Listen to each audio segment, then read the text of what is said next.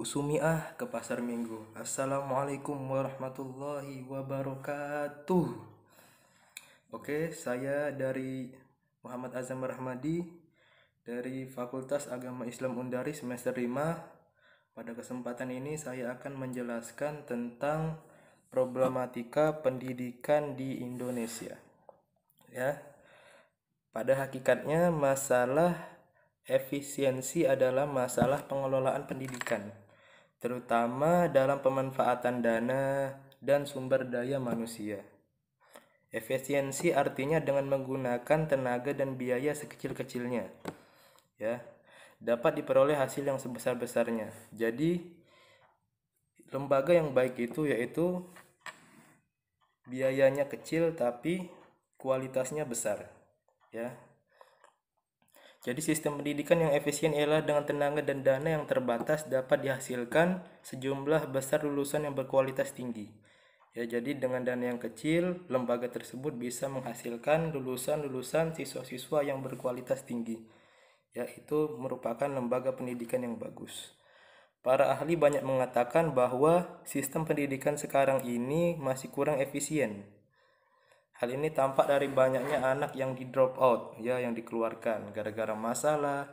Ya bukan anaknya itu yang disalahkan tapi lembaga tersebut. Banyak anak yang tinggal kelas dan kurang dapat pelayanan yang semestinya bagi anak-anak yang lemah maupun yang luar biasa cerdas dan jenius. Selanjutnya yaitu solusi pemecahan problematika pendidikan di Indonesia. Yaitu banyak macam pemecahan masalah yang telah dan sedang dilakukan oleh pemerintah untuk meningkatkan pendidikan dalam rangka mencerdaskan kehidupan bangsa.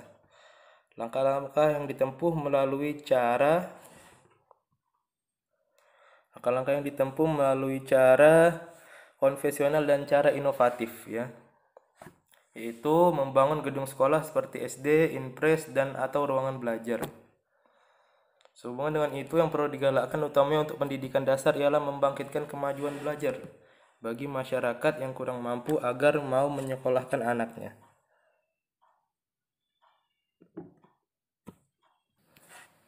Selanjutnya adalah beberapa masalah internal pendidikan yang dihadapi. Antara lain itu yaitu rendahnya pemerataan kesempatan belajar, equity disertai banyaknya peserta didik yang putus sekolah. Jadi kadang ada anak yang hanya studi itu sampai SD saja. Dan itu merupakan suatu masalah besar. Karena apa? Karena anak tersebut hanya mendapatkan pendidikan hanya sampai sekolah dasar saja. Padahal pendidikan anak yang semestinya dia capai yaitu sampai pendidikan tinggi yaitu kuliah atau S1 itu yang semestinya. Tapi di Indonesia ini banyak kita lihat ya anak-anak ya putus sekolah di SMP, di SD, di SMA dan itu merupakan suatu masalah problematika pendidikan yang ada di Indonesia ini. Selanjutnya rendahnya mutu akademik, terutama penguasaan ilmu pengetahuan alam atau IPA. Ya, jadi terutama bahasa Inggris. Padahal penguasaan materi tersebut merupakan kunci dalam menguasai dan mengembangkan iptek. Jadi sekarang itu bahasa Inggris itu memang sangat penting. Dan problematika yang ada di Indonesia ini anak-anak Indonesia ini kurang bisa memahami dan mempelajari apa itu bahasa Inggris, pelajaran bahasa Inggris dan sangat menjadi momok menakutkan bagi para-para siswa di Indonesia ini. Selanjutnya rendahnya efisiensi eksternal sistem pendidikan yang disebut dengan relevansi pendidikan yang menyebabkan terjadinya pengangguran pengangguran tenaga terdidik yang cenderung terus meningkat. Jadi karena rendahnya efisiensi eksternal jadi banyak pengangguran-pengangguran yang ada di Indonesia ini itu adalah menjadi masalah besar bagi Indonesia ya.